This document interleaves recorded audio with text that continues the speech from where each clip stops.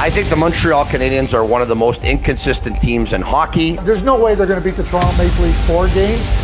I don't even think they can beat the Maple Leafs one game. I like the Jets. I need Montreal to prove that they can actually score. kind of feels like nobody believes in us, so we're sticking together. We're, like I said, we're playing as, as one, and um, we're winning games and, and having fun.